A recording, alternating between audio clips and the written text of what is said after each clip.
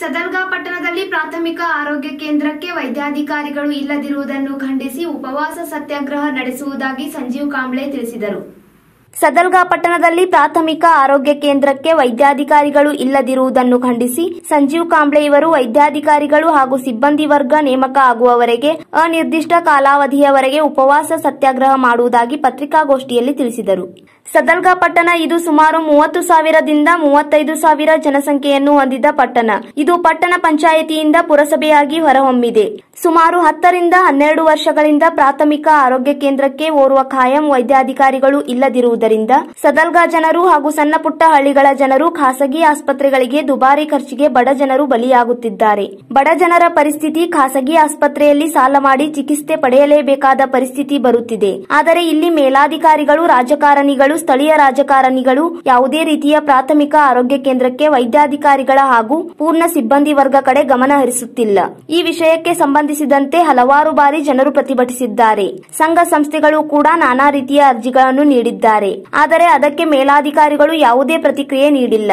ಈ ವಿಷಯವನ್ನು ಗಂಭೀರವಾಗಿ ತೆಗೆದುಕೊಂಡ ಸಂಜೀವ್ ಕಾಂಬ್ಳೆ ಇವರು ಹಲವು ಬಾರಿ ಅರ್ಜಿ ಕೊಟ್ಟಿದ್ದರು. ಅಧಿಕಾರಿಗಳ ನಿರ್ಲಕ್ಷ್ಯತನ ಕಂಡು ಪತ್ರಿಕಾಗೋಷ್ಠಿಯಲ್ಲಿ ಕರೆದು ಹದಿನೈದನೇ ಡಿಸೆಂಬರ್ರಂದು ಸರ್ಕಾರಿ ಪ್ರಾಥಮಿಕ ಆರೋಗ್ಯ ಕೇಂದ್ರದ ಮುಂದೆ ಅನಿರ್ದಿಷ್ಟ ಕಾಲಾವಧಿ ಉಪವಾಸ ಸತ್ಯಾಗ್ರಹ ಮಾಡುವುದಾಗಿ ತಿಳಿಸಿದರು. ಅದೇ ಪ್ರಕಾರ ಸ್ಥಳೀಯರಾದ ಅತಿಕ್ರಾಂತ್ ಪಾಟೀಲ್, ಶಶಿಕಾಂತ್ ಭೋಗ್ಲೆ, ಸಂಜು ಲಟ್ಟೆ ಚಂದ್ರಭಾನು ನಾಯಿಕ್, ಸಂಜೀವ್ ಕಾಂಬ್ಳೆ ಇವರ ಸತ್ಯಾಗ್ರಹಕ್ಕೆ ಬೆಂಬಲ ಇದೆ ಎಂದು ತಿಳಿಸಿದರು.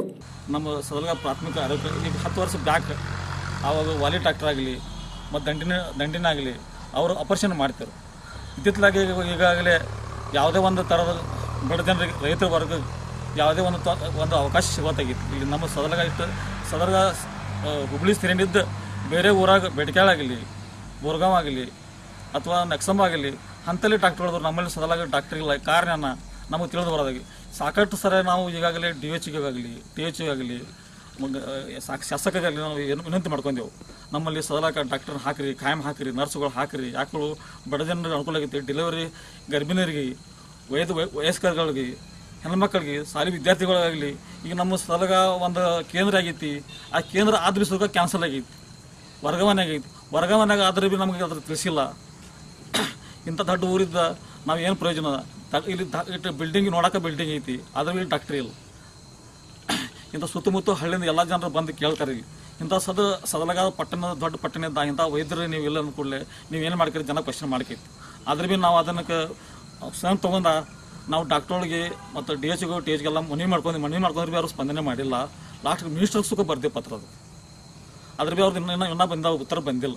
ಆದರೆ ನಾಳೆ ನಾವು ದಿನಾಂಕ ಹದಿನೈದು, ಹನ್ನೆರಡು ಒಂದು ಅಲ್ಲೇ ಪ್ರಾಥಮಿಕ ಆರೋಗ್ಯ ಕೇಂದ್ರದಲ್ಲಿ ಅದ್ರ ಅದ್ರ ಮುಂದೆ ಸ ಉಪ ಸತ್ಯಾಗ್ರಹ ಮಾಡ್ಬೇಕಂದ್ರೆ ಎಲ್ಲ ನಮ್ಮ ಸದಲಗ ಸಾರ್ವಜನಿಕ ಎಲ್ಲರೂ ನಾವು ಒಂದು ಕುಂಡ್ಬೇಕಂತ ಸಂಘ ಸಂಸ್ಥೆಗಳಾಗಲಿ ಎಲ್ಲ ನಮ್ಮ ಅಧ್ಯಕ್ಷ, ಉಪಾಧ್ಯಕ್ಷ ಇಲ್ಲಿ ಎಲ್ಲರೂ ಕೂಡಿ ನಾವು ಒಂದು ಸಹಕಾರ ಕೊಡ್ತಾರಂತ ಹೇಳಿ ಮತ್ತು ಮೊದಲನೇ ಸದಲಗ ಊರಾಗ ನಮ್ಗೆ ಸಹಕಾರ ಪ್ರತಿಯೊಬ್ಬರು ಸಹಕಾರ ಅಮೂಲ್ಯ ಅಂತೇಳಿ ಹೇಳಿ ನನ್ನ ಎರಡು ಮಾತುಗಳನ್ನು. ಏನು ಪ್ರಾಥಮಿಕ ಆರೋಗ್ಯ ಕೇಂದ್ರದಲ್ಲಿ ಏನು ಕಾಯಂ ವೈದ್ಯರ ನೇಮಕಾತಿ ಮಾಡೋ ಕುರಿತಾಗಿ ಏನು ಸಂಜೀವ್ ಕಾಂಬ್ಳಿ ಅವರು ಏನು ಶುಕ್ರವಾರ ಬ- ಹದಿನೈದು ತಾರೀಕಿನ ಉಪ ಸತ್ಯಾಗ್ರಹವನ್ನು ಹಮ್ಮಿಕೊಂಡಿದ್ದಾರೆ. ಆ ಉಪ ಸತ್ಯಾಗ್ರಹ ಕರ್ನಾಟಕ ರಕ್ಷಣಾ ಸಲಹೆಗಳಿಂದ ಸಂಪೂರ್ಣವಾದ ಬೆಂಬಲವನ್ನು ಸೂಚಿಸ್ತಾ ಇದ್ದೀವಿ ಅಂತ ಹೇಳ್ತೀನಿ. ಊರಿನ ಸರ್ಕಾರಿ ಆಸ್ಪತ್ರೆ ಭಾಳ ದಿವಸ ಆಯ್ತು.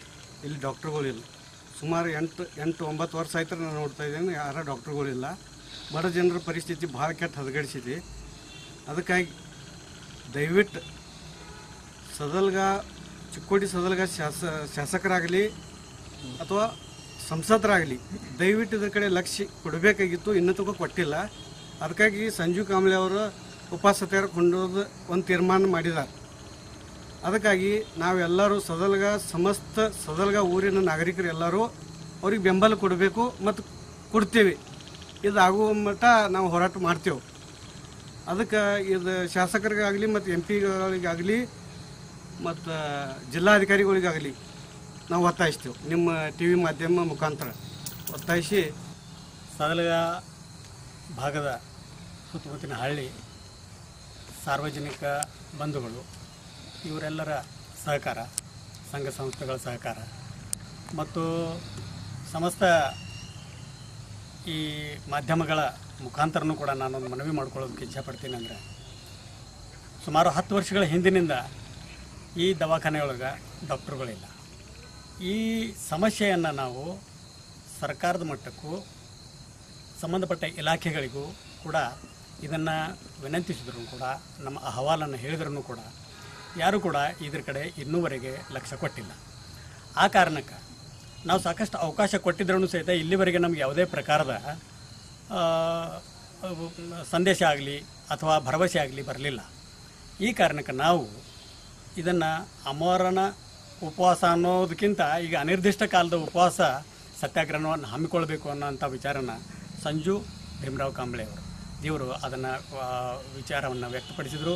ಅದಕ್ಕೆ ಸಮಸ್ತ ಸದಲಗ ಗ್ರಾಮಸ್ಥರು, ಸುತ್ತಮುತ್ತಲಿನ ಹಳ್ಳಿಯ ಜನರು ಸದಲಗ ಗ್ರಾಮದ ಸಲ್ ಎಲ್ಲ ಸಂಘ ಸಂಸ್ಥೆಗಳು ಹಾಗೂ ಮಾಧ್ಯಮದವರು ಕೂಡ ಎಲ್ಲರೂ ಕೂಡ ಈ ನಿಟ್ಟಿನೊಳಗೆ ನಮಗೆ ಸಹಕಾರವನ್ನು ಕೊಟ್ಟು ಆ ಸತ್ಯಾಗ್ರಹವನ್ನು ಯಶಸ್ವಿಪೂರ್ಣವಾಗಿ ನಡೆಸ್ಕೊಂಡು ಹೋಗತಕ್ಕಂಥ ಒಂದು ಕೆಲಸಕ್ಕೆ ಎಲ್ಲರೂ ಕೈ ಜೋಡಿಸಬೇಕು ಅನ್ನುವಂಥದ್ದನ್ನು ವಿನಂತಿಸುತ್ತಾ ಈ ಬೇಡಿಕೆಗಳು ಈಡೇರದಿದ್ದರೆ ಇದನ್ನು ಅಮರಣಾಂತ ಉಪವಾಸ ಸತ್ಯಾಗ್ರಹವನ್ನಾಗಿ ಪರಿವರ್ತನೆ ಮಾಡಲಾಗ್ತದೆ ಅನ್ನೋ ಎಚ್ಚರಿಕೆಯನ್ನು ಕೂಡ ನಾನು ಹೇಳ್ತಾ ನನ್ನೆರಡು ಮಾತುಗಳನ್ನ ಹೇಳ್ತೀನಿ. संजय भीमराव कांबळे यांनी एक एक मोहीम घेतलेलं आहे गावात. ते म्हणजे गावातलं जे सरकारी प्राथमिक आरोग्य केंद्र जे आहे ते आरोग्य केंद्रमध्ये परमनंट डॉक्टर नाही म्हणून एक आपल्या गावात आपल्या गावातल्या परिसरामध्ये खूप वर्षापासून हे प्रॉब्लेम येत आहे की सदलगासारखं गाव फक्त हे गाव नाही की हे एक